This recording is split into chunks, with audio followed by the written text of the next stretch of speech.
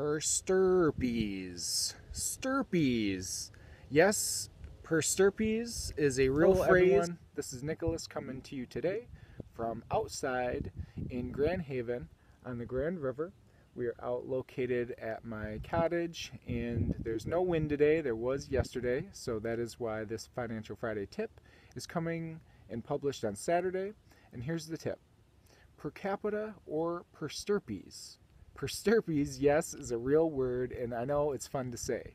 If I had a napkin in front of us, I would draw this diagram. On the left is a sticks and circles example of per stirpes distribution. This is also known as in bootstrap because the intended beneficiaries, B and D, who are deceased in this example, their one-third share is then distributed in bootstrap or in linear line downward.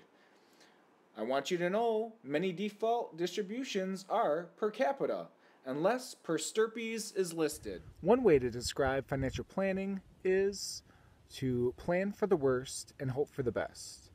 Well, planning for the worst is that your beneficiaries will pass before you do. But planning for the best is making sure and having the confidence to know that your estate is getting transferred to them in the correct portions and, and one last thing, please remember this tip doesn't cost you anything. If you're curious or want to add clarity to your beneficiaries, simply contact the companies that you already have existing policies with, IRAs, 401ks, annuities, life insurance, etc., and ask them for a change in beneficiary form. To add clarity, leave all the names exactly listed as is, but just add per capita or per stirpes underneath each name, and this will add clarity to your loved ones, and you will have the confidence knowing that your estate will get passed on to them in the correct manner. And this can be done without a will. So, this is a free tip and something you can do yourself. I hope you learned something new today and enjoyed this Financial Friday tip.